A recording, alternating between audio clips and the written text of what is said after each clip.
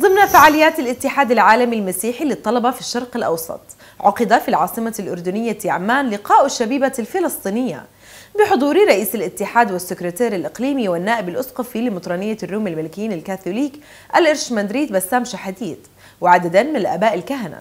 حيث شارك في اللقاء محاضرون من الأردن ومصر ولبنان تناولوا في محاضراتهم موضوعات حول البيئة والتحديات التي تواجهها المنطقة. وفي حديث خاص لنورسات الأردن مع رئيس الاتحاد العالمي المسيحي للطلبة في الشرق الأوسط السيد زيد حداد تحدث عن أهمية انعقاد هذا اللقاء والنتائج الختامية لأعمال المؤتمر وقال اليوم لقاء شبيبة فلسطين في عمان هو اللقاء الثاني عشر على التوالي هذا العام.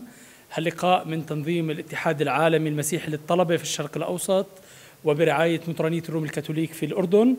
هاللقاء تخللوا عدة لقاءات آه، بدور حول البيئة والعدالة البيئية وواقع الشبيبة المسيحية في فلسطين. آه، من خلال هذا اللقاء تم زيارة شبيبة القديس جورجيوس وزيارة كاتدرائية القديس جورجيوس هي مطرانية روم الكاثوليك. والالتقاء بالشبيبة هاللقاء مع الشبيبة يعقد كل عام. أصبح لقاء متكرر يلتقي فيه الشبيبة من الطرفين. لقاء محبة ولقاء تعارفي آه، كل عام آه، هاللقاء آه، العام كان برعاية الأب بسام والاتحاد العالمي للشبيبة. ما يميز الاتحاد العالمي للمسيح للطلبة عن أي كيان مسكوني آخر إنه ده الكيان الوحيد اللي المؤسسين بتوعه والأعضاء بتوعه شباب مش كنايس. يعني مجلس الكنائس العالمي أعضاء مجلس الكنائس العالمي كنايس مش شباب. الاتحاد العالمي للمسيح للطلبة ليه مكاتب في الأقاليم كلها. عندنا إقليم أمريكا إقليم أوروبا إقليم لاتين أمريكا إقليم آسيا إقليم أفريقيا وإقليم الشرق الأوسط. إقليم الشرق الأوسط اللي إحنا موجودين فيه في مجموعة حركات بتمثل مجموعة من الدول. عندنا الأردن وعندنا فلسطين عندنا العراق عندنا سوريا ولبنان والسودان ومصر. كل آه، بلد من البلاد دي في حركة أو أكتر بيمثلوها. نحن بالاتحاد العالمي المسيحي للطلبة مثل ما ذكر الأستاذ أيمن بنعمل لقاءات للشبيبة. ونحن بهذا اللقاء آه جامعين الشبيبة الفلسطينية.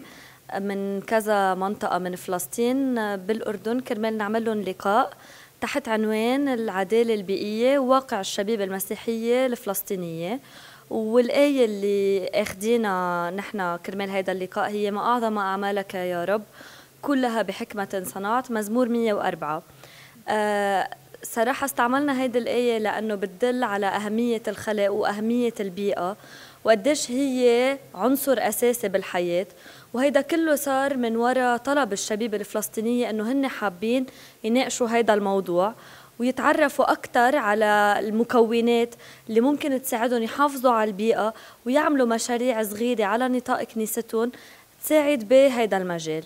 هاللقاء آه، آه، تحت عنوان العدالة البيئية واقع الشباب الفلسطيني.